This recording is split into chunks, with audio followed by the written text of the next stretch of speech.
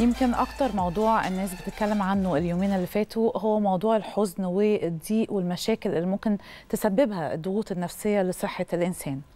وده طبعا بعد الكلام اللي انتشر عن إنه السبب الأساسي لتدهور الحالة الصحية للراحل احمد رفعت كان الضغوط النفسية الكبيرة اللي تعرض ليها. وده اللي خلى ناس كتير قوي تسأل هل ممكن الحالة النفسية السيئة تؤدي للوفاة؟ أو يمكن أزمة صحية كبيرة ولأن الموضوع فيه أسئلة كتير هيكون معانا في الاستوديو دلوقتي الدكتور محمد الفايد استشاري الصحة النفسية.